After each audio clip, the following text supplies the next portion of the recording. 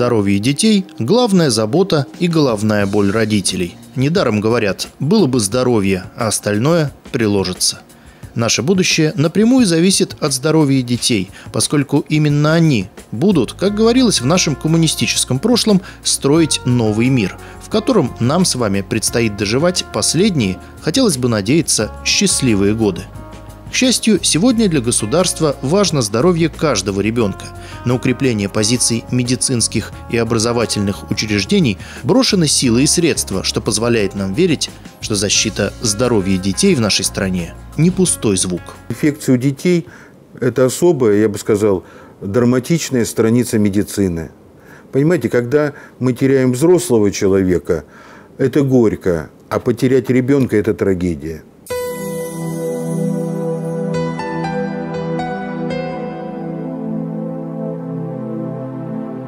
Детские инфекционные болезни известны с древности. Письменные источники Месопотамии, Китая, Древнего Египта – это 2-3 века до нашей эры – указывают на описание случаев столбняка, полиомиелита, рожи, эпидемического паротита и лихорадочных состояний у детей.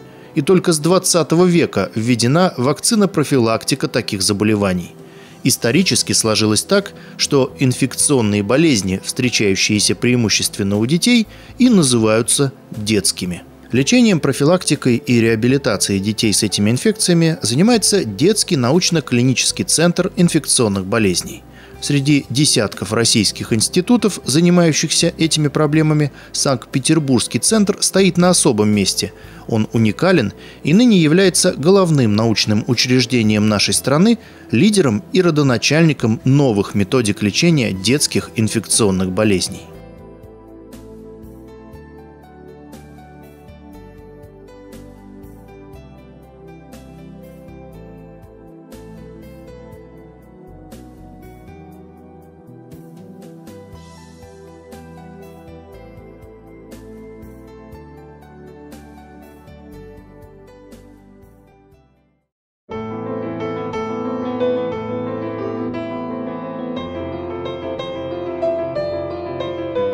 14 февраля 1927 года по распоряжению Александры Калантай были созданы пункты охраны здоровья детей и подростков, которые впоследствии стали детскими поликлиниками. Один из таких пунктов под номером 4 в этом же году был реорганизован в научно-практический институт по охране здоровья детей и подростков. В это время институт располагался в бывшем особняке графа Витте – в 1930 году институт получил статус областного и переехал на улицу Песочную, дом 9, бывшая лечебница Коносевича для нервных и душевнобольных. Ныне улица профессора Попова. В годы Великой Отечественной войны, во время блокады Ленинграда, институт функционировал как детская больница. Здесь продолжали лечить и выхаживать детей с элементарной дистрофией. Этот славный наш институт, теперь уже научный центр – детский научно-клинический центр инфекционных болезней. Он спас тысячи жизней детей, тысячи. Он выстоял в сложнейших условиях блокадного Ленинграда. Он не прекращал тогда работу.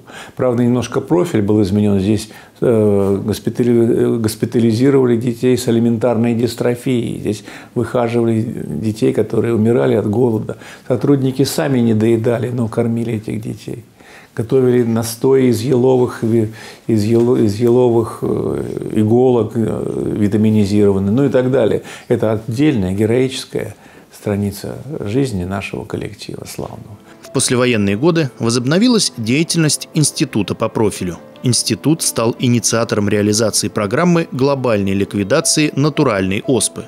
В 1961 году его переименовали в научно-исследовательский институт детских инфекций НИИДИ. В 1977 на Ленинградский НИИ детских инфекций Министерства здравоохранения РСФСР были возложены функции головного института по проблеме «Острые детские инфекции» и создана при нем соответствующая проблемная комиссия, координирующая профильные исследования в стране.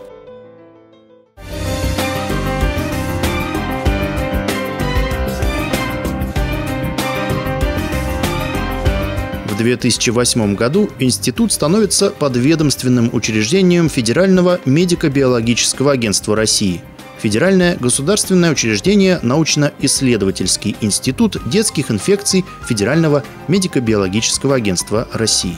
Директором института назначен Юрий Владимирович Лабзин, заслуженный деятель науки Российской Федерации, академик РАН, профессор. В 2012 году институт переименован в Федеральное государственное бюджетное учреждение научно-исследовательский институт детских инфекций Федерального медико-биологического агентства.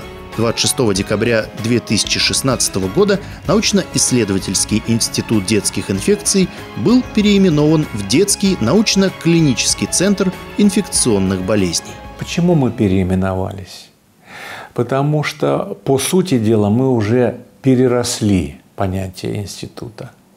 Это действительно федеральный детский научно-клинический центр, в котором э, возможны самые современные диагностические, лечебные, реабилитационные э, такие э, мероприятия. Кстати говоря, то, что мы центр, это очень важно. Мы имеем право создавать в рамках центра и свои собственные институты. И действительно это учреждение характеризуется таким многопрофильным подходом, поскольку инфекционная патология ведь не выделяет, у какого пациента с какой патологией все это возникает. Это могут быть изменения нервной системы, сердечно-сосудистой, дыхательной.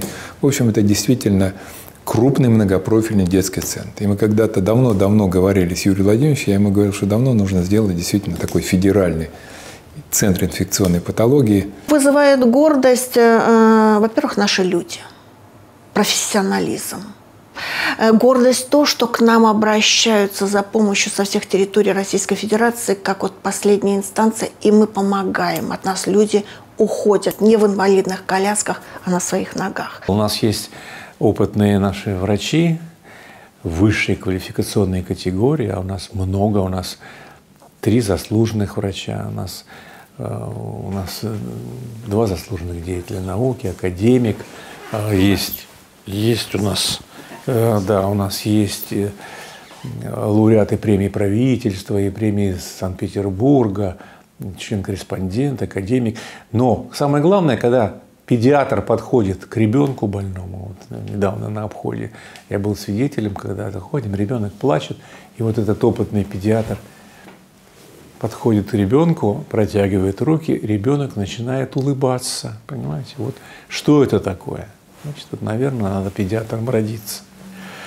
И мне очень приятно, что я работаю сейчас именно в этой сфере педиатрической. Чтобы оценить э, значение этого учреждения в системе здравоохранения Российской Федерации, нужно непременно э, сказать о задаче, которые решает этот э, коллектив и этот институт или центр теперь.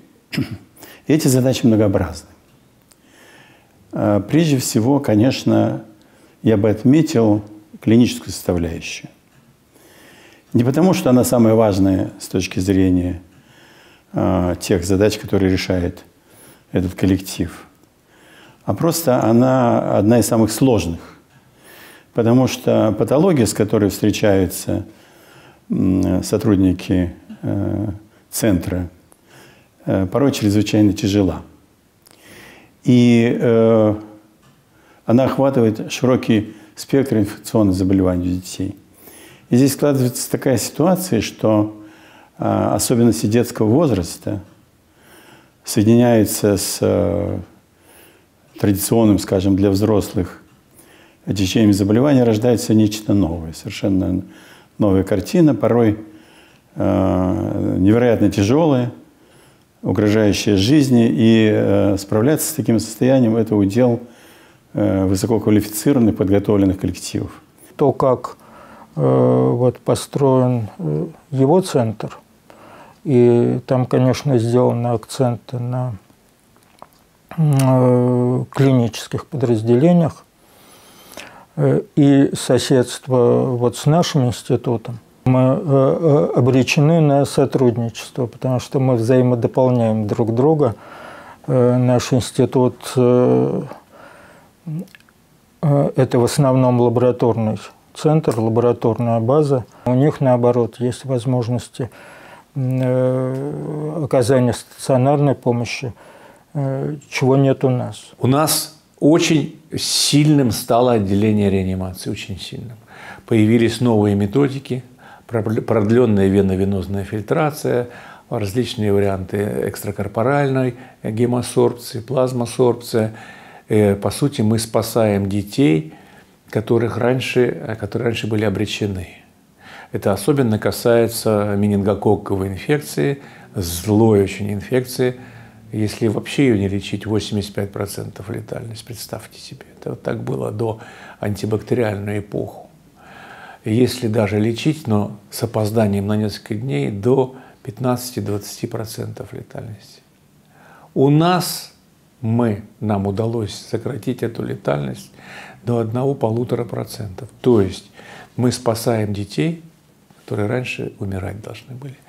Но вот из 17 детей за последние два года мы потеряли только двоих. Вот это, конечно, безусловное достижение. Кроме того, у нас э, уникальное и вирусологическое оборудование, благодаря которому мы можем в течение нескольких часов, э, сопоставляя все данные, э, поставить этиологию, подтвердить этиологию заболевания вирусологической, бактериологической, микробиологической лаборатории. В институте созданы мобильные бригады, которые выезжают на места локальных конфликтов в очаги подчас невероятно опасных инфекций. Мы постоянно выполняем функции, как сказала Вероника Игоревна Скворцова, детского инфекционного спецназа. Что это значит? Любая крупная вспышка в стране, а страна огромная, это то Якутия, сибирская язва, то Чечня, то Ростовская область, то Липецк, где вспышка. И вот наши сотрудники, женщины в основном, тут же, немедленно выезжают в командировки – безропотно, понимая всю важность задачи. И купируют, ликвидируют эту вспышку, помогают детям, спасают им жизнь. Сотрудники центра принимали непосредственное участие при ликвидации вспышек инфекций среди детей в Ростовской, Липецкой и Мурманской областях, Республике Абхазия, Чеченской Республике, Республике Северная Осетия, Республике Саха-Якутия, а также при оказании экстренной медицинской помощи детям в особых условиях Крым, Севастополь, пункты временного размещения беженцев на территории Ростовской области 2014-2015 годы было осмотрено и обследовано более 15 тысяч детей в пунктах временного размещения беженцев с юго-восточных регионов Украины. Была здесь э, не так давно ситуация э, в одной из у нас э, республик, северокавказских республик, когда там отмечена циркуляция э, вакцинородственного вируса полиомиелита, вакцинородственного, то есть вот э, вакцинный штамм, который преобразовался. И специалисты Юрия Владимировича тоже выезжали туда для того, чтобы разобраться в ситуации, почему, вот, и вместе с э, педиатрией, с педиатрами, вот, они, собственно, выработали комплекс решений, предложений для того, чтобы эту ситуацию вот, коренным образом устранить, и она, собственно, решена, вот эта проблема. Три года назад, если даже не четыре, а, вспышка в Липецкой области, в Ростовской области. Там заболело одномоментно больше 300 детей энтеровирусной инфекцией.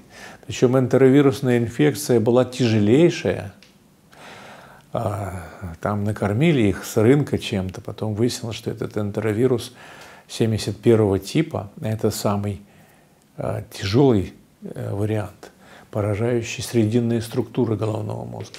И семь детей, когда мы приехали туда, были в реанимации между жизнью и смертью. И вот тогда нам удалось этих детей спасти, ликвидировать эту вспышку. В условиях хронического отсутствия финансирования по науке везде – том числе и у нас. Э, и вообще э, у нас идет наука, у нас выполняются научные исследования, у нас э, разрабатываются новые инновационные технологии. Например, нигде в мире нет тест-системы для выявления иммуноглобулинов М к герпесу шестого типа. У нас разработали. Так же, как и иммуноглобулин М к вирусу варицелла зостер. В детском научно-клиническом центре инфекционных болезней создана одна из самых современных в стране баз микробиологической, вирусологической, патоморфологической, функциональной, лучевой, лабораторной клинической диагностики – осуществляется новая стратегия этиологической диагностики путем внедрения современных молекулярно-генетических технологий и эффективных методов выделения возбудителей с учетом их биологических особенностей, что позволило проводить расшифровку этиологии инфекционных болезней в 72% случаев, что в два раза выше, чем в стране организована система наблюдения за циркуляцией на территории России антибиотикоустойчивых возбудителей инфекционных болезней. Это позволило своевременно обнаружить появление новых опасных патогенов. У нас центр, который работает не только на Санкт-Петербург, но на Российскую Федерацию. Мы определяем наиболее э, устойчивые, если так можно сказать, вредные штаммы, мультирезистентные штаммы. К сожалению, их появляется все больше и больше, и нам чтобы с ними справляться, надо знать откуда, где они находятся, как с ними изучить, э, изучить а потом уже воздействовать. То, что мы сегодня с вами вместе создаем, это без сомнения эталон современного, высокотехнологичного научно-клинического центра. Наше учреждение сегодня э, стоит э, на самой передовой по обеспечению биологической безопасности Э, нашей нации, потому что э, дети – это будущее. И заболевания детей, ухудшение демографической ситуации, инвалидизирующие последствия и так далее – это имеет колоссальные социальные, социальное значение, так же, как и их интеллектуальный потенциал. И поэтому предупреждение инфекций, их профилактика, своевременное выявление и прочее – это является, конечно, биологической безопасностью будущего нашей страны. Разные же инфекции есть. Есть воздушные капельным путем передающиеся, есть э, другими вариантами, трансмиссивные, есть незаразные, есть такие инфекционные болезни, которые не заразные, например, псевдотуберкулезом и арсениозом ты не заразишься от больного человека. Вот, это надо продукты определенные употребить.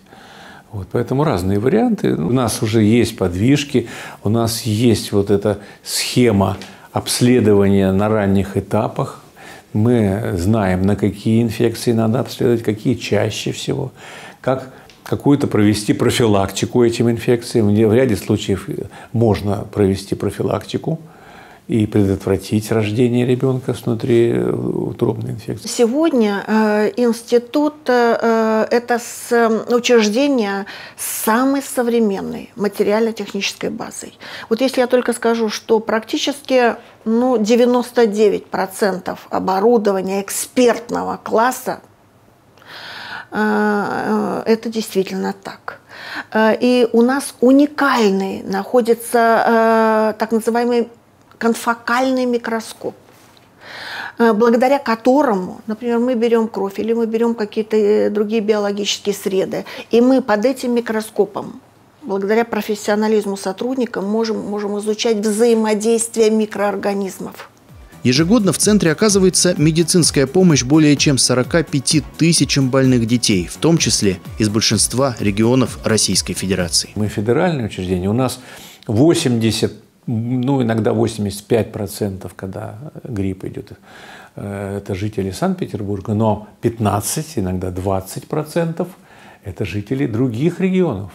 Вот э, мы были сегодня на обходе, пожалуйста, из Барнаула, из Туапсе, из Закавказья у нас лежат люди там, ну и так далее. Из разных городов, из Калининграда – то есть люди приезжают к нам с различными проблемами. Единственный в Российской Федерации детский научно-клинический центр инфекционных болезней не только сочетает в себе возможности проведения научных исследований и оказания медицинской помощи детям и их родителям с инфекционными и паразитарными заболеваниями, но и является одним из ведущих учреждений России, принимающих непосредственное участие в обеспечении биологической безопасности страны. За 10 лет институт заслуженно получивший статус научно-клинического центра, он изменился до неузнаваемости. Это новые площади, новые корпуса, новые лаборатории, новые подразделения. И все это построено на современном уровне, причем с учетом функциональной эргономики. Он стал дворцом не просто внешне, когда фасады красивые, да, и внутри все так красиво, и все устроено для детей. Здесь намного важнее, что это стало э, заведением, в котором работают очень высококачественные, высококлассные совершенно специалисты, абсолютный профессионал. Причем центр развивается – он развивается не только, опять говорю, внешне, когда он увеличился в размере, у него шикарная лабораторная база, инструментальная база. Поскольку мы не только головной и единственный такой центр в стране, мы, на наших плечах лежит обязанность создания проектов, документов Министерства здравоохранения. Нами были разработаны около 100 стандартов оказания медицинской помощи нами были разработаны около 50 клинических рекомендаций по оказанию помощи. И были разработаны порядки оказания помощи детям э, при инфекционных болезнях. Это тоже огромная работа, дополнительная работа, потому что нигде она никак не предусмотрена – ни в научной, ни в клинической работе ее нету. Особой заслугой Юрия Владимировича то, что он создал реабилитационное отделение. Надо сказать, что вообще направление реабилитации в нашей стране требует развития. Так вот, сегодня он создал мощнейший реабилитационный центр для детей, что позволит, конечно, восстанавливать детей, возвращать их э, в строй. Впервые в Российской Федерации внедрена система персонализированной комплексной медицинской реабилитации детей с последствиями инфекционных заболеваний, способствующая существенному повышению качества жизни детей и их родителей. Развитие системы медицинской реабилитации нашло отражение в создании в структуре учреждения единственного в стране реабилитационного центра для детей с последствиями тяжелых инфекционных заболеваний нервной системы. Мы реабилитируем в содружестве с нашими коллегами. Очень много сделал институт, которым руководит академик Бендурашвили – потому что если появляются какие-то осложнения, а часто бывают некрозы нижних конечностей, то приходится применять в том числе и хирургическое пособие, и протезирование в ряде случаев. Но, тем не менее, эта система заработала. У нас, конечно, э, и уникальное отделение реабилитации. Вот я считаю, что еще одним из величайших достижений, на что пошел Юрий Владимирович, э, это, э, например, отделение нейроинфекций, куда один этаж, два этажа. Это принадлежит отделению нейроинфекций. Всегда возникает вопрос, зачем два? На одном этаже пациенты поступают острые их ведут врачи, да, ставят их, э, выводят из тяжелого состояния, и когда нужна ранняя реабилитация, они переводят их на другое отделение, где сами же реабилитируют. Центр занимается самыми актуальными, самыми вот прорывными, приоритетными направлениями э, э, инфекционных заболеваний в мире, в том числе, и вот это очень важно подчеркнуть, проблемами антибиотикорезистентности. То есть это сейчас проблема, которая решает весь мир. И э, Институт детских инфекций или э, научный центр, теперь научно-клинический центр, успешно решает эти проблемы тоже. Это настоящий полноценный, мощнейший центр инфекционных заболеваний у нас в стране. И потенциал, конечно, его в перспективе, ну вот мне кажется, и, конечно, как мощнейший всероссийский институт, всероссийский центр инфекционной патологии, изучения инфекционных болезней. Мы не только вот это делаем, но еще учим. Дело в том, что после реконструкции у нас отстроено здание, где находится симуляционный центр, оснащенный современными э, учебно-симуляционными приборами. Ну что это значит? Вот можно прийти к ребенку тяжелому и научиться у ребенка э, делать масочный наркоз, или там вставлять трубку, или прокалывать вену, или там делать трахеостомию у ребенка, учиться. Это одна сторона. А другая сторона, у тебя есть такой же манекен, а у нас не только манекены есть, а есть и приборы сложнейшие, компьютерные. Ну вот как бы большая кукла в виде ребенка. Но у этой куклы есть зрачковые реакции. Она открывает, закрывает глаза. Зрачки сужаются, расширяются. У этой куклы есть артериальное давление. У нее есть, она дышит, у нее есть частота дыхания. У нее есть э, даже мочеиспускание. И вот компьютером задается определенная задача, что вот у ребенка параметры такие, такие, да, инфекционно-токсический шок развился. Что должен сделать доктор? Доктор один на один с этим манекеном, а за стеклом, за зеркальным находится преподаватель, который смотрит, как он работает и что он делает. Он набирает определенные препараты, вводит ребенку. Если он делает правильно, у ребенка нормализуется пульс, дыхание, появляется мочеиспускание, он получает свою законную пятерку. Мы обучили уже не только наших докторов, у нас около 400 специалистов из различных, из 13 стран мира приезжали, учились. И не только из стран бывшего СНГ, но и из э, стран из Африки, из Южной Америки, из Азии. В институте сохранен вот этот э, трепетный дух или дух трепетного отношения к больному ребенку. И, э, и родители, и э, обучающиеся студенты и врачи, которые приходят на усовершенствование, это чувствуют. И это необыкновенно э, возносит вот этот коллектив в нравственном отношении. На сегодняшний день детский центр является крупнейшим научно-лечебно-учебным учреждением, в котором имеются все условия для проведения научных исследований, обеспечения высококачественной медицинской помощи и непрерывного последипломного образования.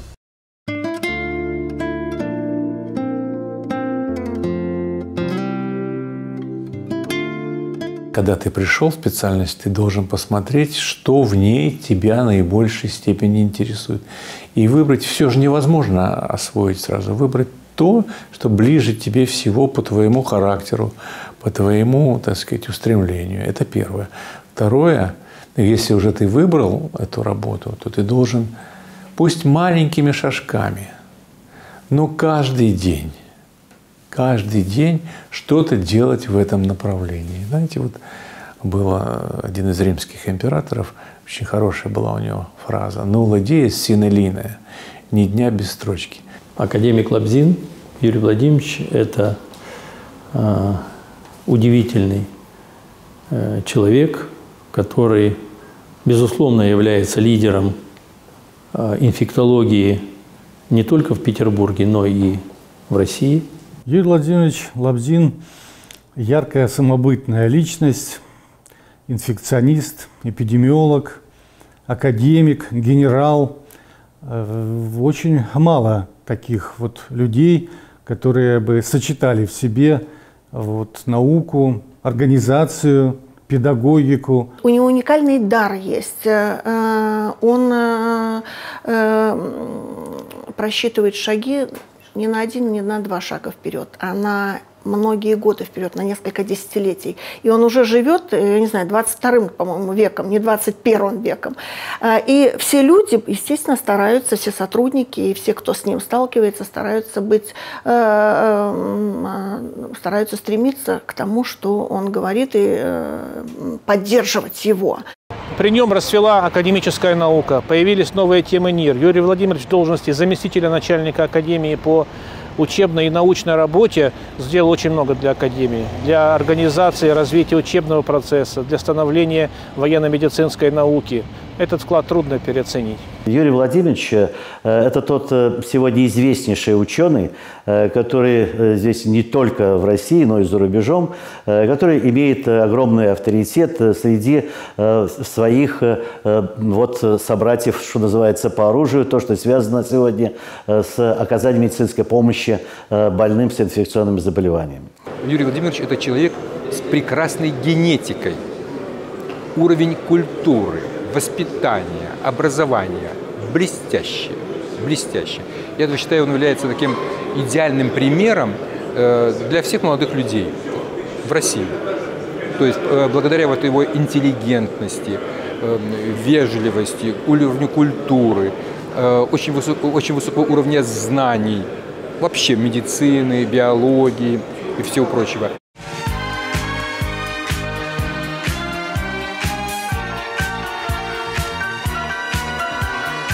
После увольнения из Вооруженных сил Российской Федерации в 2008 году Юрий Лабзин стал директором Федерального государственного бюджетного учреждения научно-исследовательский институт детских инфекций Федерального медико-биологического агентства, которое он возглавляет вот уже почти 10 лет. Меня пригласили в Министерство здравоохранения и сказали, что есть славный институт, который нуждается в укреплении и это был как раз институт детских инфекций. Когда я дал свое согласие, ну, честно говоря, я не ожидал, что он достаточно таком тяжелом состоянии. Здесь был прекрасный коллектив специалистов, но они работали в очень несоответствующих уровню материальных условиях. Материально-техническая база была практически разрушена. Я считаю, что это поступок, который можно считать очень мужественный в профессиональном отношении. Он взял на себя очень высокую ответственность, очень высокую. Конечно, мне пришлось получить дополнительную подготовку. Я закончил на базе педиатрического университета специальные курсы, получил усовершенствование по педиатрии и имею сейчас дополнительный диплом по педиатрии в том числе.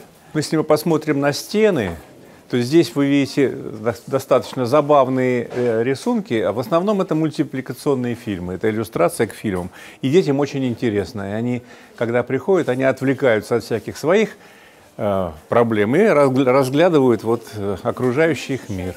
И не ощущают себя, главное, не ощущают мы вот это как госпитализм называется, от этого госпитализма мы избавляемся. Они чувствуют себя как дома. Юрий Владимирович, он глубокий, настоящий специалист, понимающий дело, с огромной практикой, практикой среди взрослых, которую он, так сказать, вот умножил и перенес на детей, на детей, и это у него очень успешно, так сказать, получается. Самая трудная проблема – это работа с детьми это наиболее трудно. Они очень много болеют инфекционными болезнями, они болеют, эти дети. И она была наименее организована. Я был заместителем э, начальника академии по научной работе. Поэтому мне это нравилось, все было нормально. Я уже был академиком к тому времени, генералом. Вот. Ну, а с другой стороны, я подумал, что, наверное, интересно было бы попробовать себя и на другом поле деятельности. И когда его назначили на должность вот, директора Института детских инфекций, мы все очень обрадовались, потому что знали, что он поднимет этот институт. И он именно так и сделал. Из института, который был в разрухе, он сделал из него замечательное, великолепное учреждение мирового уровня, которое сейчас известно не только в нашей стране, известно во всем мире. Как руководитель, придя э, в, э, в наше учреждение, в Институт детских инфекций, Юрий Владимирович показал себя чрезвычайно талантливым, я бы даже сказала, гениальным руководителем, который смог привлечь самое э, внимание э, самых э, высоких наших чиновников, вплоть до президента Российской Федерации, для того, чтобы нам дали финансирование на строительство практически нового института. В то время институт назывался в крайне заброшенном состоянии. У нас сохранились много фотографий – как размещались в отделениях дети, облупленные стены, вот эти пружинные кровати, эти здания, которые, простите меня, было невозможно войти в подвал, в клинический корпус без резиновых сапогов. Это были руины, рушились потолки, проваливались полы. И непонятно было, где же эти дети, которым оказывают помощь.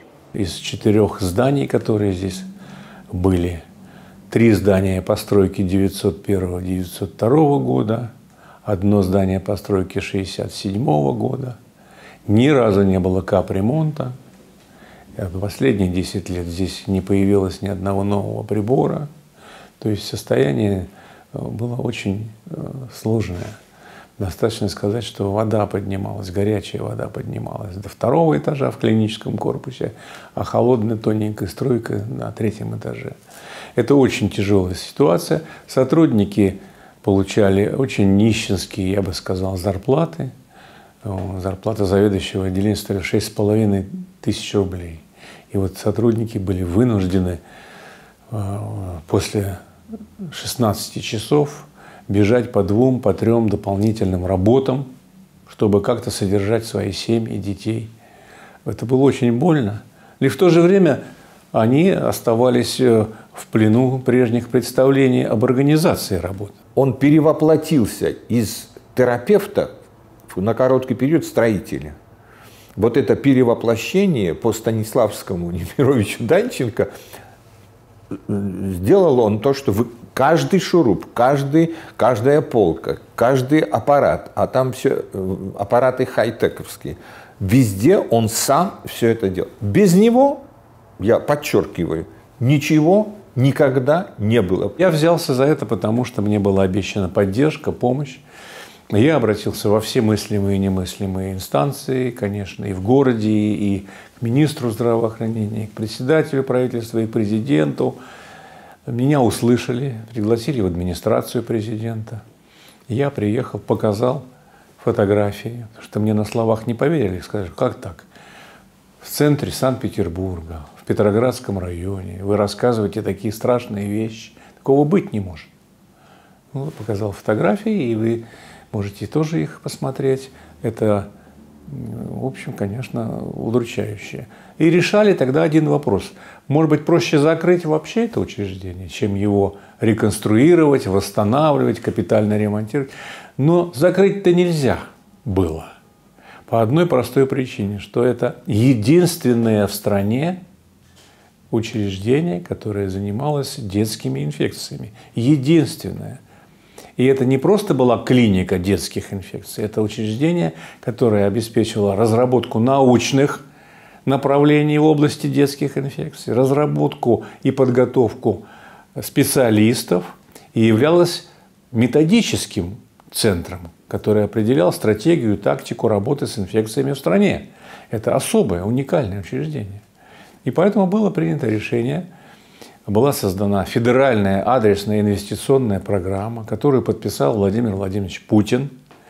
И эта программа была рассчитана на 5 лет с серьезной реконструкцией, которая, в общем, и была успешно завершена к концу 2016 года. Исторический отрезок, вот это очень короткий ведь. Всего 10 э, лет.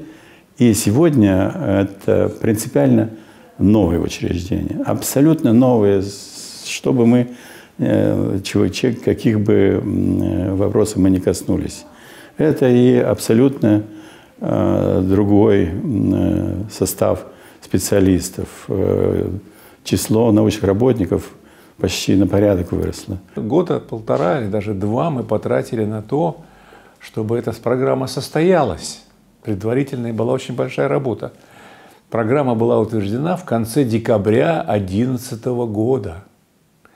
То есть это была проработка того, как нам надо будет себя вести.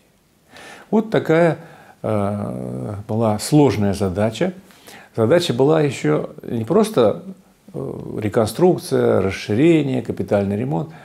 Задача была поставлена, чтобы ни на один день учреждение не прекратило свою работу. А как это сделать? Когда два корпуса были признаны аварийными. Их надо было сносить. У них не было фундамента, были щели, трещины.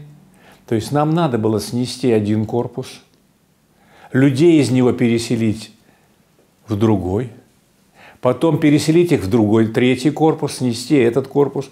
И все это, чтобы работа не прекращалась, количество больных не сокращалось, ну и по инициативе директора мы еще работали в ОМС, а это значит не было никаких выходных. Центр под руководством Юрия Владимировича, он передовой. Вот самая тяжелая патология вот стекается вот в этот центр, вот в этот центр. Поэтому многие мамы, папы, бабушки, дедушки благодарны должны быть за то, что вот он спасает таких детей.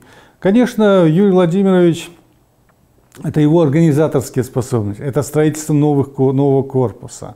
Э, совершенно институт преобразился. Федеральная адресная инвестиционная программа выполнена точно в срок и в полном объеме. И, по сути, произошло второе рождение института. Вместо 10,5 тысяч квадратных метров Мы теперь имеем 35 тысяч квадратных метров.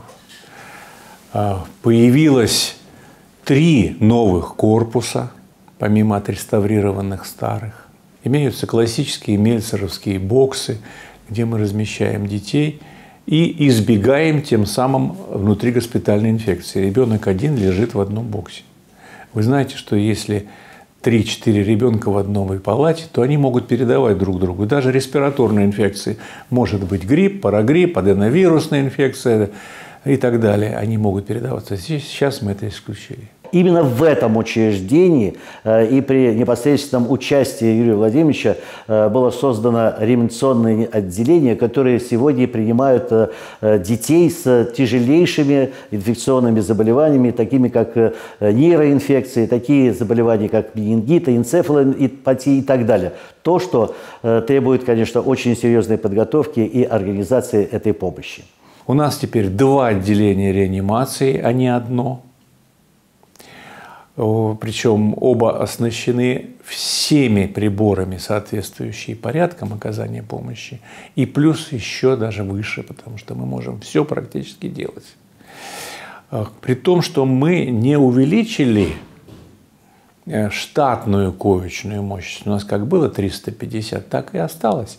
Но за счет того, что мы получили новые площади, дети стали лечиться в абсолютно нормальных, или я бы сказал, близких к идеальным условиям. Одна из этих особенностей последних лет, клиническая особенность, это э, интенсивная терапия тяжелых состояний.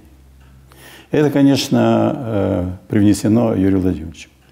Потому что еще в своей докторской диссертации он решал эту проблему о тяжелых больных с инфекционными заболеваниями, в том числе в Афганистане – эту, этот раздел медицины знает просто блестяще. Ну и не случайно это получилось таким образом, что э, он это все, все эти знания привнес в этот новый свой коллектив. Он э, очень далеко продвинул вот э, такое детс, изучение детских инфекционных болезней и очень резко снизил смертность от нейроинфекций детских – очень резко снизил, да. Вместе со своими помощниками. Сотрудники теперь работают в новых условиях, в хороших чистых помещениях. За счет того, что мы вошли в ОМС, ДМС, высокотехнологичную помощь оказываем по двум педиатрическим направлениям, мы смогли повысить заработную плату сотрудникам. И мы даже немножко опережаем указы президента вот в плане заработной платы. Им не нужно бегать теперь по двум-трем работам, они все основное время проводят здесь, но и получают достойную зарплату. Такой, может быть, юмористический э, нюанс. Но я могу вам сказать, что когда я пришел, была одна сотрудница в декретном отпуске. Тогда было 223 человека работало в институте, была одна в декретном отпуске. Сегодня у нас 585 сотрудников и в декретном отпуске 47 апофеозом вот, э, руководства э, Юрия Владимировича институтом, мне кажется, является 90-летие нашего института, когда э, на наше 90-летие приезжали э, и премьер-министр, и министр здравоохранения Вероника Игоревна Скворцова, и все чиновники, многие чиновники Министерства здравоохранения и ФМБА. Сейчас он является главным инфекционистом по детской э, патологии Минздрава России. Да, главный специалист. И делает очень большую работу по снижению смертности, инфекционной смертности в России, в различных ее регионах. Ты отвечаешь в полной мере за всю службу. Там огромное количество обязанностей, а право только одно – в любую минуту выехать э, в ту точку, которая неблагополучна. Здесь, безусловно, тоже очень важен коллектив э, нашего центра. У нас по каждому направлению есть высочайшего уровня специалисты. Респираторные, кишечные, гепатологии, нейроинфекции, редкие инфекции и так далее. Вот по каждому можно скомплектовать бригаду 2-3 человека, которые могут оказать помощь. И это правильно, что директор центра является главным специалистом, потому что он может, ну, потому что он не только сам профессионал, но еще и может скомплектовать правильную бригаду людей, которые команду, которая с ним. Опять команда получается. Везде командный стиль должен быть. Эта должность очень ответственна, хотя на самом деле она звучит как э, главный внештатный специалист. И, казалось бы, внештатный у всех людей, которые далеки от этой должности, всем кажется, ну что такое внештатник. На самом деле это ни в коем мере не уменьшает той, того объема работы, который ты должен выполнить. То есть, по большому счету, как э, какое-то время назад сказала наш министр Вероника Игоревна Скворцова, она сказала, вы в каждой своем, в каждом своем направлении вы министры. Вы просто замещаете меня в этой области. На больничный халат не наденешь наград, но на праздник халаты мы скинем. После окончания адъюнктуры в 1980 году Юрий Лабзин был назначен преподавателем военно-медицинской академии имени Кирова. В 1987 году старшим преподавателем, в 1994 начальником кафедры инфекционных болезней, главным инфекционистом Министерства обороны Российской Федерации. В августе 2001 года он стал заместителем начальника военно-медицинской академии по научной работе. Он был на генеральской должности как мой зам по клинической работе. Проходит где-то полгода, созревает иная ситуация – возникает еще одна генеральская должность, отдельно зам по научной работе. И произошла подвижка кадров. И на место моего зама по клинической работе я планировал Щербука. Юрий Владимирович, не задумываясь, согласился на это дело. Так вот случилось, что Будучи начальником научного отдела, я заболел очень тяжелой формой гепатита А и попал в клинику инфекционных болезней, которую ранее возглавлял Юрий Владимирович. Но вот уже будучи замом начальника академии, он продолжал приходить в клинику и там совершал клинические обходы как профессор. И пока я находился там на лечении, этот обход э, он выполнял несколько раз. То есть я его оценил как клинициста. Ну вот. И я понял, что это действительно человек, который однозначно э, предан врачебной профессии, и что для него э, любая чиновничья должность – это как бы временное служение, а основной смысл его жизни – это врачевание – это живой символ военно-медицинской академии. Очень большую часть, значительную часть своей творческой, научной, клинической жизни он отдал военно-медицинской академии. Собственно, и сейчас, не прерывая с ней связь, он является главным научным сотрудником военно-медицинской академии, активно участвует в жизни нашего клинического научного э, учебного коллектива. А Юрий Владимирович, ну, вы знаете, вот есть люди-светочи, которые светят постоянно, всегда. Работала команда на одном дыхании. И ведущим в этой команде был, несомненно, Юрий Владимирович. Мы с ним единомышленники в отношениях к академии, в отношениях к науке. Он очень успешно руководил научным направлением деятельности Академии и умудрялся подстраховывать во всех других направлениях. Юрий Владимирович великолепный клиницист с очень широким кругозором. И э, он председатель нашего диссертационного совета. Все, что происходит позитивного, сейчас в Академии очень много с ним связано. Здесь следует напомнить о том, что Юрий Владимирович ездил, он же и в Афганистане был, на войсковой стажировке, это больше трех месяцев, период ведения активных боевых действий. С новой стороны он мне как раз в Афганистане и так и открылся, потому что а, Э, я в последние два года был главным инфекционистом 40-й армии. А Юрий Владимирович, когда защитил докторскую диссертацию, так сказать, так вот, он а, был туда послан в командировку, так сказать, так а, получилось, что мы вместе занимались с ним организацией вывода войск. Это совсем новое дело. И э, это очень смелый человек. Вы представляете, Афганистан это была эпидемия гепатита, сывороточного, алиментарного, какого угодно. И в этот был высажен десант э, инфекционистов, который возглавлял он, и с этим было прекрасно справились.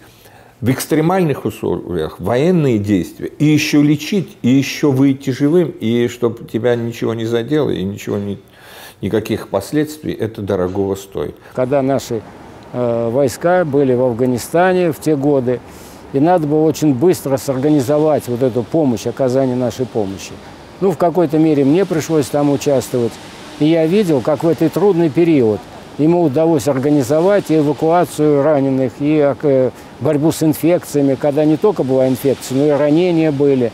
И у него очень много работ посвящено этому вопросу. При методическом руководстве и непосредственном участии Юрия Лобзина была создана и внедрена система оказания медицинской помощи инфекционным больным советской и российской армии, что позволило в 16 раз снизить смертность среди инфекционных больных в Афганистане и избежать ее в Чечне.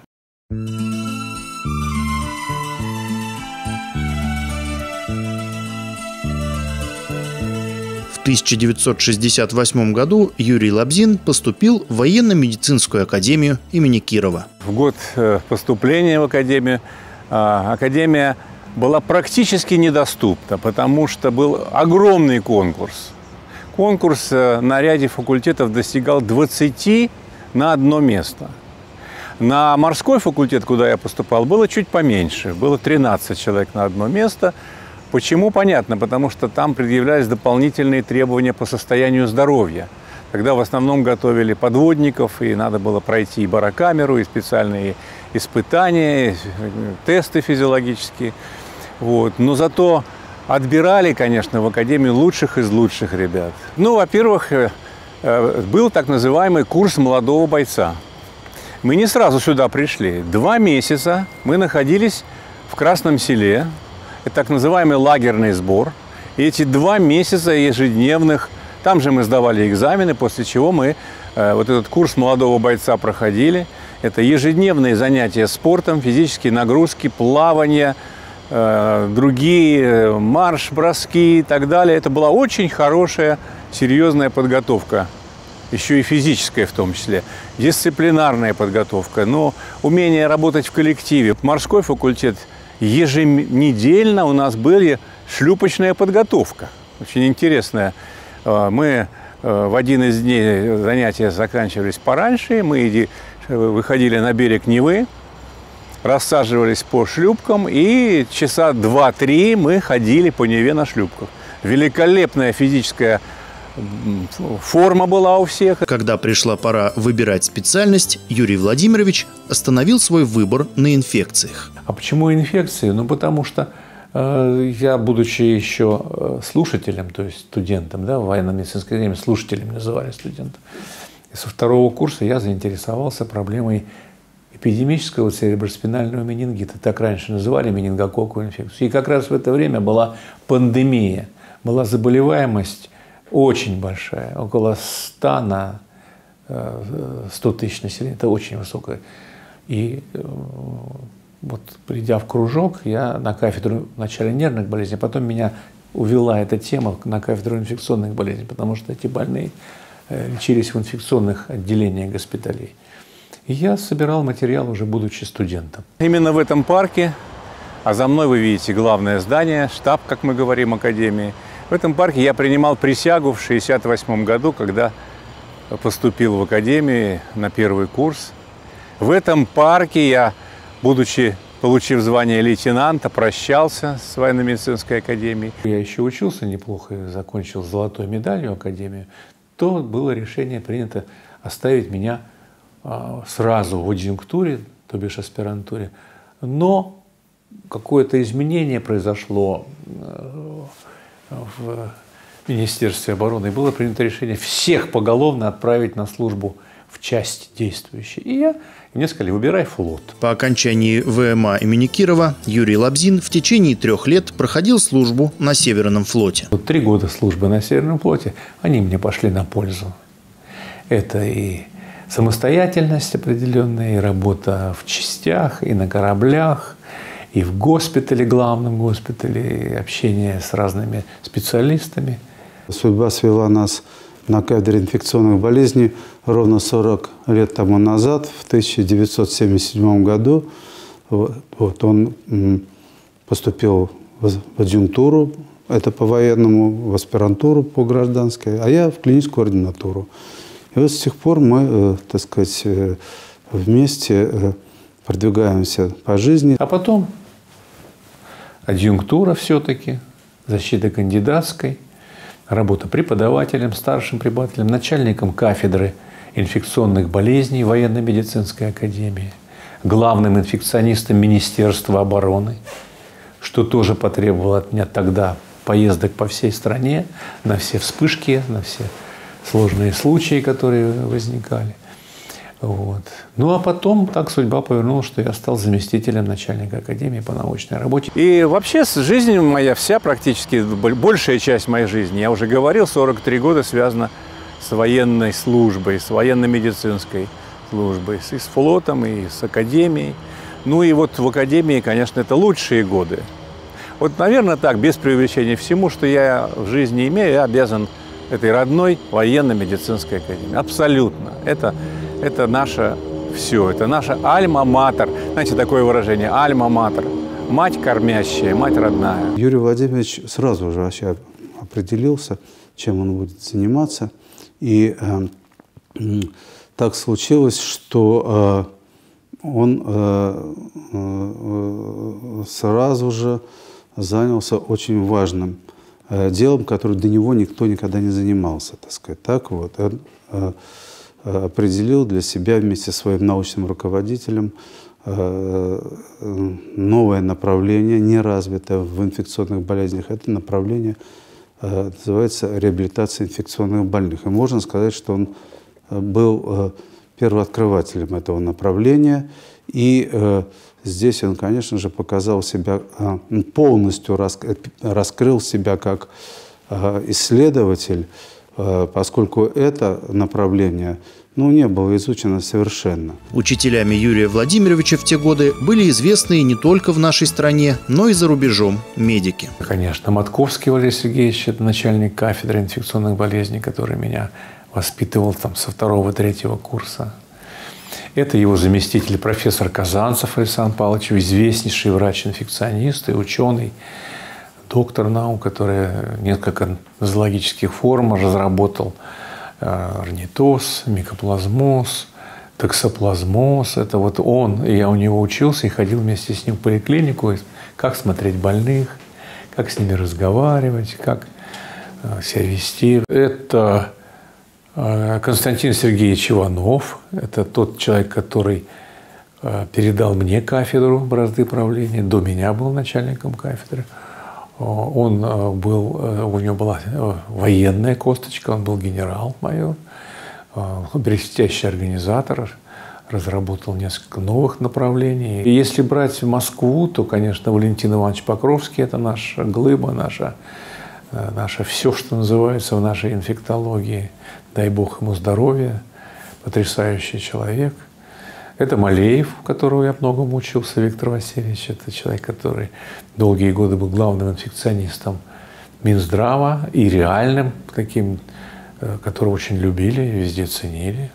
Я многому научился у Гайдара Бориса Всеволодовича, как у начальника академии, потому что руководить 18-тысячным коллективом – это очень непросто, да в котором только профессоров 400 человек и за тысячу кандидатов наук. Книжные учителя, конечно, мы все ведем свою историю от Будкина Сергея Петровича.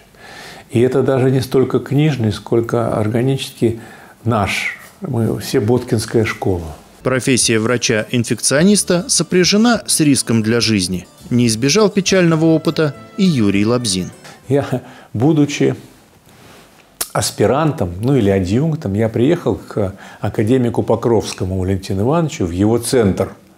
А центр тогда как раз была пандемия менингококковой инфекции. И он был руководителем этого центра. Я иду на обходе вместе с ним. Несколько дней я работаю в этом отделении, а там десятки этих больных. И я работаю как врач, курирую их, записываю. И на одном из обходов Он все смотрит на меня и говорит, что ты какой-то квелый. Я говорю, да меня знобит, Валентин Иванович. И у меня сильно болит горло. Какой-то фарингит. Он смеется, говорит, ну а ты, говорит, не догадываешься, какой этиологии у тебя фарингит? Я говорю, менингококк? Он говорит, конечно, иди домой срочно. Я пошел, э, купил в аптеке 6 таблеток сульфадиметоксина. Это двойная доза, вообще разрешенная, там две таблетки, даже тройная. Принял это, сутки провалялся э, в общежитии, и через э, на второй-третий день я уже поправился. Это подтвердило диагноз менингококкового, менингококкового фрингита, потому что при любом вирусном, как вы понимаете, будь то грипп, я бы неделю болел, да? И никакие бы сульфаниламиды мне не помогли. А здесь я через два дня, а на третий был уже совершенно здоров.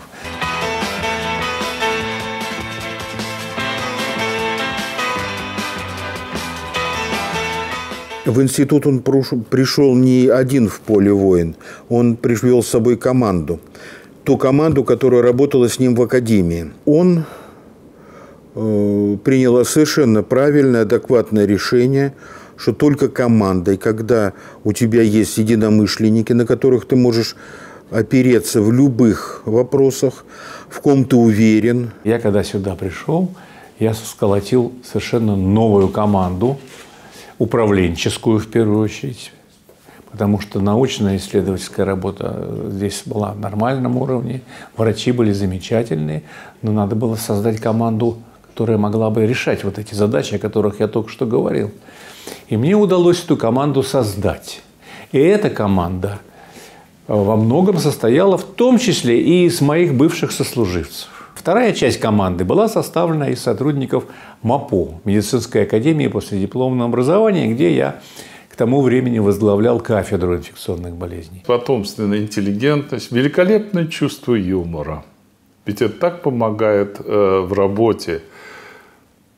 Он очень вдумчивый и, как бы вам сказать, но далеко не самый мягкий человек, который встречается. Если вы совершили определенные поступки, то я вас уверяю, что Юрий Владимирович выдаст по полной.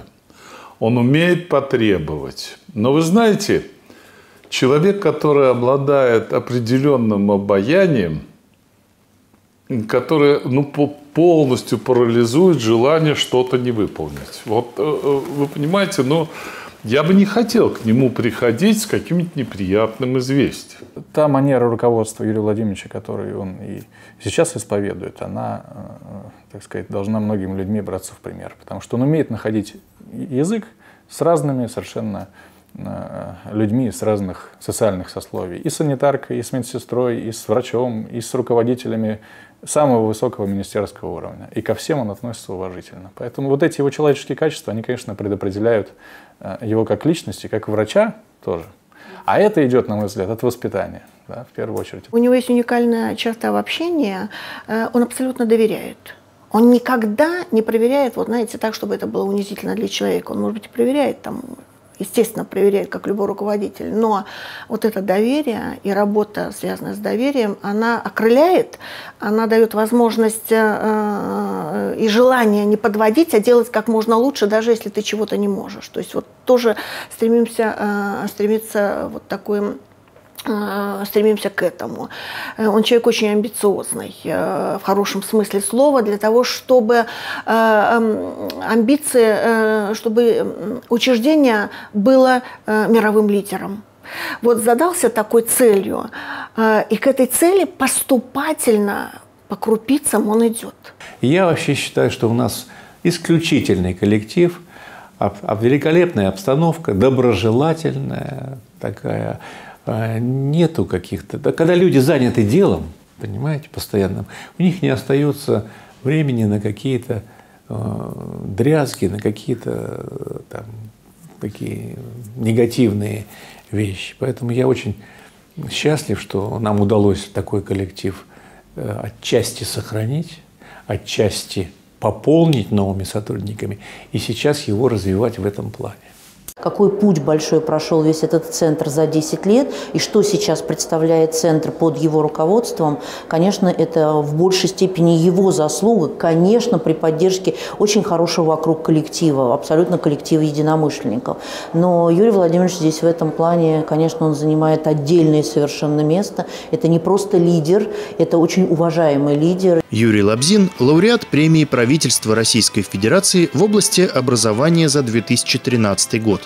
Он имеет благодарности президента Российской Федерации, председателя правительства Российской Федерации, министра обороны Российской Федерации и руководителя ФМБА России за эффективное решение вопросов теории и практики предупреждения и лечения инфекционных болезней.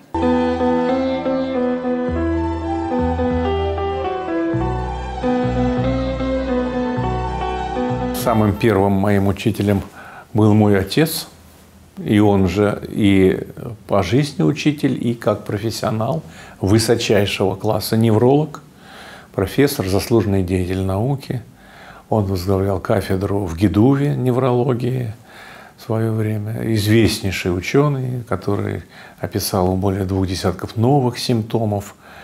Э, впервые описал миостению как заболевание, первая монография в нашей стране. Ну, то есть это, э, это такая глыба, конечно, это глыба и вообще интересный очень человек. Юрий Владимирович э, создал прекрасную школу инфекционистов в военно-медицинской академии, которая сейчас занимает ключевые позиции во многих э, учреждениях, которые занимаются инфекционной патологией. Блестящий педагог. Видите, то, как он говорит, вот я всегда говорю, как он читает лекцию или как он делает доклад. Ну, казалось бы, уже известная проблема, известно это. Но расставить акцент, сделать, влюбить в себя за период доклада – ну, научиться этому невозможно. Вот это либо есть, либо этого нет. Юрий Владимирович э, довольно много обращает э, внимания на организацию учебного процесса. И это одно из тех направлений, которые сегодня, конечно, очень востребовано. Должен сказать, что Юрий Владимирович сделал сегодня много для того, чтобы усовершенствовать подготовку специалистов. Эти специалисты работают сегодня во многих учреждениях не только нашего города, но и страны. На протяжении семи лет Юрий Лабзин заведовал кафедрой инфекционных болезней военно-медицинской академии. Юрий Владимирович организовал ежегодные конференции всероссийские которые проводила кафедры. И практически все основные кафедры всех вузов всей страны приезжали нам на конференцию. Прежде всего, это кафедра, начальник которой является главным инфекционистом Министерства обороны. Это так в должности написано. Это не то, что какой-то внештатный, сегодня один, завтра другой. Это неразрывно связанные вещи. А отсюда необходимость работы в интересах всей военно-медицинской службы страны. Инфекционисты России и у нас в Москве очень хорошо эту кафедру знают, во-первых, по их делам, по их работам, потому что кафедра находится на острие всех проблем инфекционных заболеваний. Это и эпидемиология, это и профилактика, это диагностика, это лечение инфекционных заболеваний и, главное, реабилитация. Юрий Владимирович активно трудится в Академии. Яркий пример – это клиника инфекционных болезней. Юрий Владимирович клиницист с очень широким кругозором, инфекционист с мировым именем и клиника инфекционных болезней во время, в то время, когда он был начальником кафедры клиники военно-медицинской академии, клиника шагнула далеко вперед. Была создана научная школа. Ныне Юрий Лабзин заведует кафедрой в Северо-Западном государственном медицинском университете имени Мечникова. У нас очень большая кафедра. В свое время произошло слияние двух вузов. МАПО, медицинская академия после дипломного образования, которая учила только врачей и э, университета Мечникова, который учил только студентов. И вот в результате слияния трех кафедр образовалась наша кафедра, где я заведую. Мы учим студентов, врачей, и еще третья кафедра, это была кафедра паразитологии. То есть мы еще и паразитарные болезни тоже. Он прекрасный преподаватель. На его лекции с интересом его лекции слушают, преферируют и размножают. В наше время это дорогого стоит. Он учит молодых э, врачей, как надо правильно говорить, как жестикулировать и так далее. То есть он э, интригует, что лекция – это очень важный момент э, в воспитании доктора. Кафедра инфекционных болезней – это аналог кафедры военно-полевой хирургии. И, эм, или экстренной хирургии, которая, ну, так сказать, сама по себе инфекционные болезни, они настолько быстротечны и настолько э, сжаты по времени и требуют настолько принятия быстрых решений, что люди, которые занимаются инфекционными болезнями, это люди, которые практически занимаются экстренной помощью. Говорить о плеяде учеников Юрия Владимировича можно очень долго, потому что он воспитал громадное количество специалистов.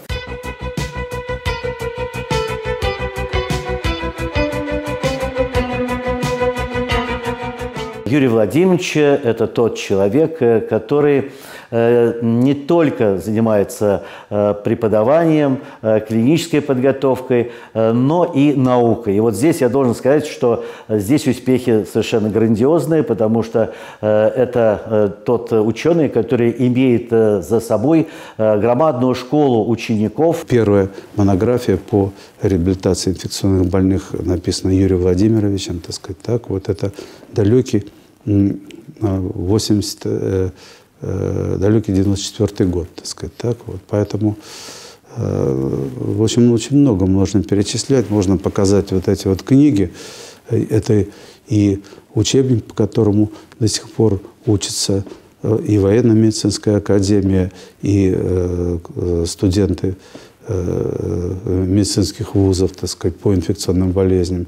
Ну а э, руководство, изданное Э, при его участии и под его, так скажем, непосредственным руководством по инфекционным болезням, по паразитарным болезням, они э, выдержали 4 или 5 изданий, так сказать, так вот, и пользуются очень-очень большим успехом.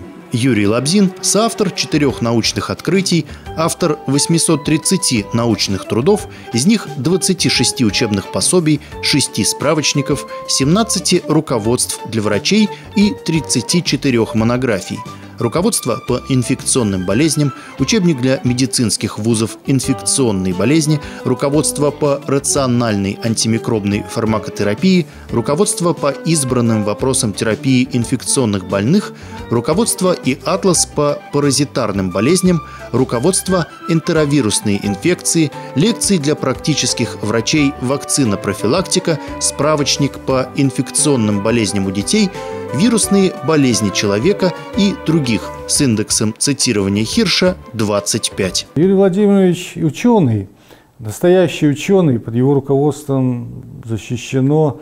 Он подготовил более 70 где-то кандидатов и докторов медицинских наук.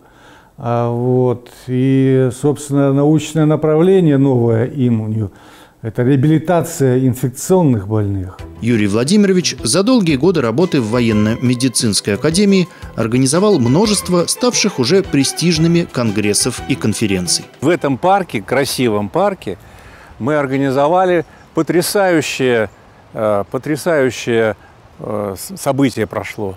Э, вместе с Борисом Селовичем Гайдаром, с главным военно-медицинским управлением был организован Всемирный конгресс по военной медицине. Ну, наверное, это самое яркое впечатление. В парке мы встречали всех делегатов, встречали вначале их там, у входа в главный штаб, знакомились с академией, с музеем. Заседания проходили в Таврическом дворце – 83 делегации из разных стран мира приехали. 83 медицинских, военно-медицинских. Представляете, какое огромное количество. В каждой делегации было не меньше трех человек, а в некоторых самых крупных, таких как китайская и американская, до 20 человек. И вот мы готовили это мероприятие, мы его э, режиссировали, мы участвовали в э, разработке программы научной. Ежегодно с 2010 года Центр во главе с Юрием Лобзиным проводит всероссийские конгрессы по актуальным вопросам инфекционных заболеваний у детей, в работе которых принимает участие до 500 врачей более чем из 40 регионов Российской Федерации. В следующем году, 1-2 февраля, у нас в Санкт-Петербурге, в гостинице Санкт-Петербург, Петербург будет проходить конференция, которая будет посвящена менингококковой инфекции. За большой вклад в организацию противоэпидемических мероприятий в войсках в 1996 году Юрий Лабзин был награжден орденом за военные заслуги. В 2000 году Юрий Лабзин избран членом-корреспондентом Российской академии медицинских наук. В 2007 академиком Российской академии медицинских наук, а в 2013 году академиком Российской академии наук. После того, как я стал членом-корреспондентом, безусловно, это а, новые возможности, поскольку это общение совершенно на другом уровне и с другого уровня людьми. Я считаю, что это одно из самых высших э, научных и учебных образования в нашей стране. И мне повезло, в Санкт-Петербурге к этому времени было северо-западное отделение Академии медицинских наук. Его возглавлял академик Ткаченко Борис Иванович, директор Института экспериментальной медицины, к сожалению, ныне покойный. Вот. И очень как-то быстро мне удалось стать, меня ввели в состав президиума северо-западного отделения. Эта работа была очень важной. Мы собирались регулярно, достаточно часто, рассматривали, наверное, самые интересные направления научных исследований. В 2002 году Юрий Владимирович был удостоен государственной награды почетного звания «Заслуженный деятель науки Российской Федерации». В сентябре 2017 года Юрий Лабзин был награжден Орденом Почета –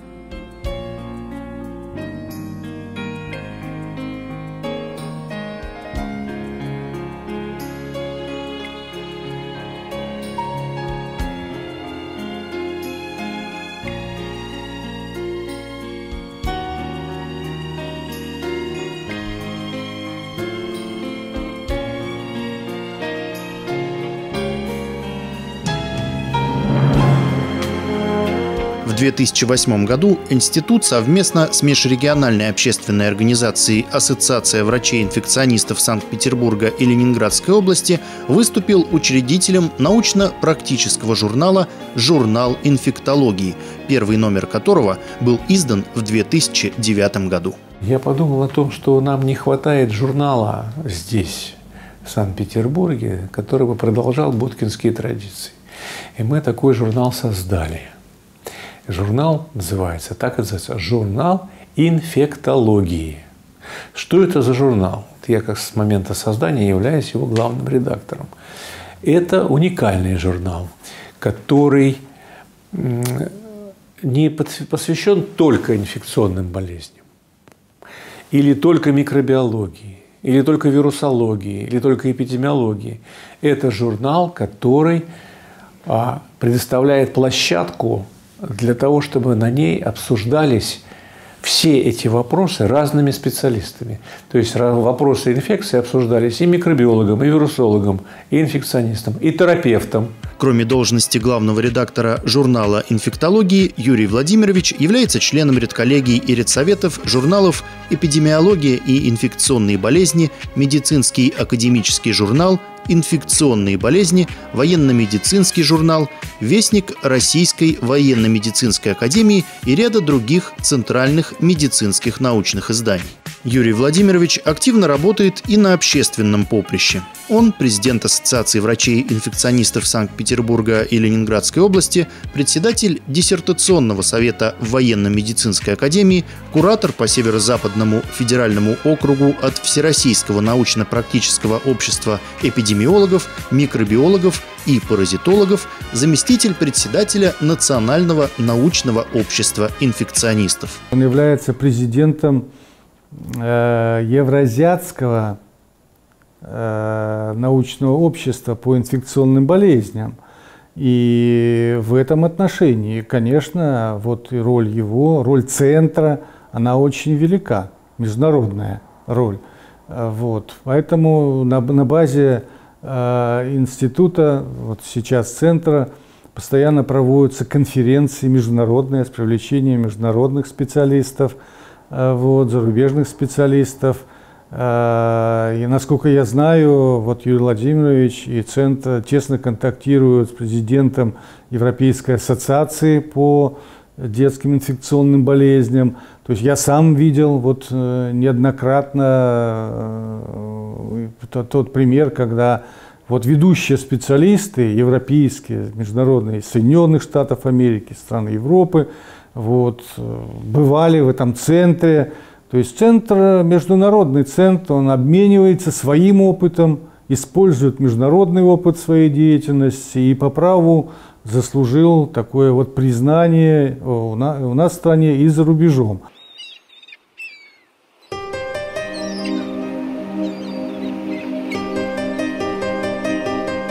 Юрий Владимирович Лабзин родился 22 ноября 1950 года в городе Порт-Артур Китайской Народной Республики. Я родился в семье врачей.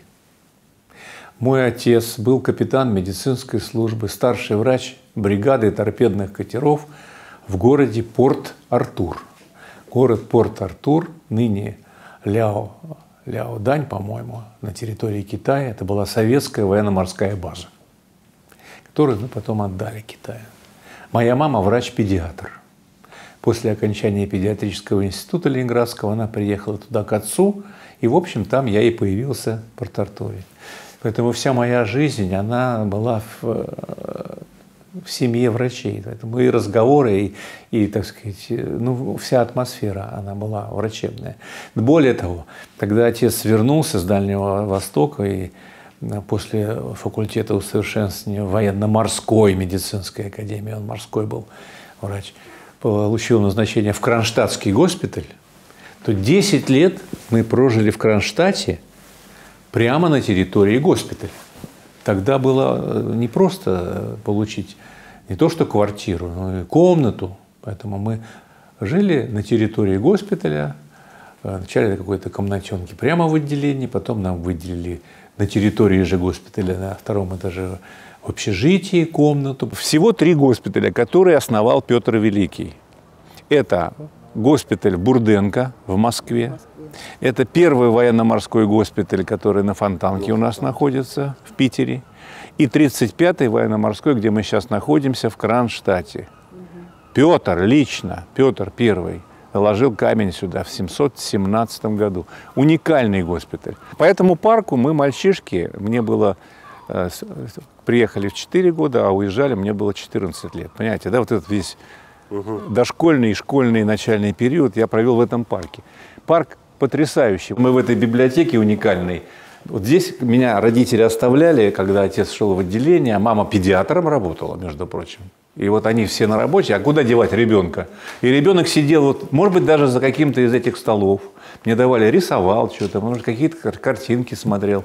Но я помню, что здесь были изумительные книги.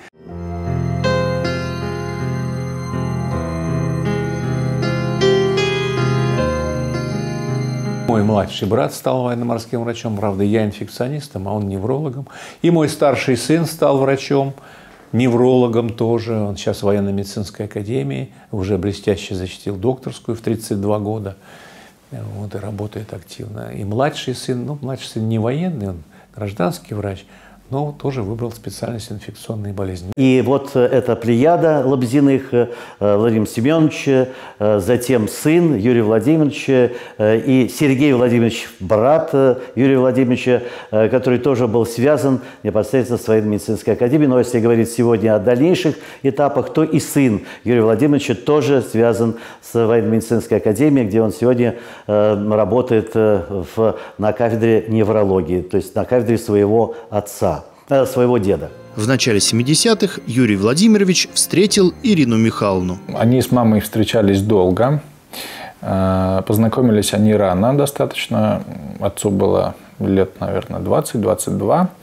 Э, какое-то время встречались, потом долго не общались. И женились они только, поженились, когда ему был 31 год. Да, то есть практически 10 лет они не могли принять решение. По-прежнему любят друг друга, счастливы, в гармонии, в взаимопонимании в теплых чувствах и в любви, взаимной настоящей любви. И я могу сказать, что с годами эти чувства, они стали еще более теплыми, они стали еще более взаимными. Ирина Михайловна окончила теоретико-композиторский факультет Ленинградской консерватории по специальности музыковедение. Долгое время работала преподавателем фортепиано и сольфеджио в музыкальной школе. Супруга Ирина Михайловна, это отдельный разговор. Женственность, доброжелательность. Вот в ней заложено гены материнства. Знаете, переживание. Э, И, и когда она находится в, в компании, чувствуется ее аура. Старший сын Володя, как и отец, окончил военно-медицинскую академию с золотой медалью, и его имя, наряду с именем Юрия Владимировича, навечно занесено на доску почета выдающихся выпускников. Владимир счастливо женат. Супруга тоже окончила военно-медицинскую академию по специальности врач-рентгенолог. В семье подрастает сын. Сейчас в военно-медицинской академии, э, в той родной моей альма-матер, которую я и закончил. Э, Через некоторое время я туда вернулся и сейчас уже ну, последние 10 лет там работаю. Мне 27 лет сейчас. А, Я э, врач, э, работаю в военно-медицинской академии. Это первое место работы в клинике инфекционных болезней. Там э, занимаюсь ведением э, пациентов. Э, Также недавно получил вот э, сертификат по ультразвуковой диагностике, освоил эту методику и э, то есть параллельно с ведением пациентов еще их и обследую. Вот. Также я там пишу сейчас научную работу, ну, диссертацию, кандидатскую. Редкие минуты отдыха Юрий Владимирович проводит с семьей. Я э, отвечаю за культуру, я стараюсь раз в год сделать семейный выход. Это любит невестка, э, она музыкальный такой человек. И чтобы вместе побыть с семьей, вот раньше, когда мама могла, мы еще брали ее. Бывает ресторанчик там когда-то забредем э, или за городом на заливе. Приятно посидеть, э, но такие, к сожалению, моменты случаются нечасто. В основном летом дача это э, общаемся с семьей. Она меня вытягивает в театр, в филармонию, консерваторию, на выставки. Она определяет культурную программу. Меня это устраивает вполне, потому что, во-первых, она лучше это знает и понимает, и выбирает такие спектакли или такие вечера музыкальные, которые без, безошибочно.